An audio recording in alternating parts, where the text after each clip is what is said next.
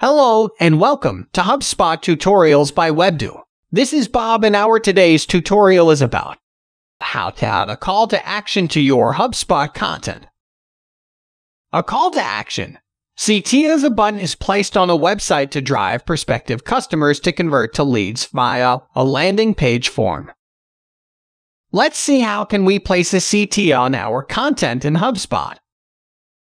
First, let's add CTA to a blog. Navigate to Marketing and then Blog. First select the blog, then hover over the blog post and then click Edit. Locate a rich text module in the content editor. Then place your cursor at the location where you want to place your CTA. In the upper right, click the Insert drop-down menu and select Call to Action. In the right panel, select the CTA to insert, then click Insert. To add a CTA to an email that uses the drag and drop editor, navigate to Marketing and then Email.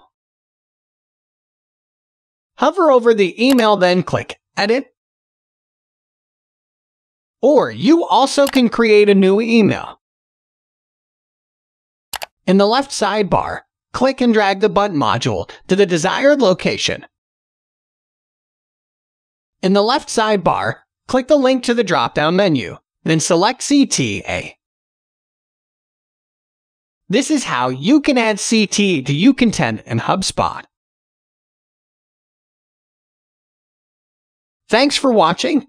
Feel free to ask any questions in the comment section, and we will be happy to answer. If you like the video, give us a thumbs up and press the bell icon to subscribe to our channel.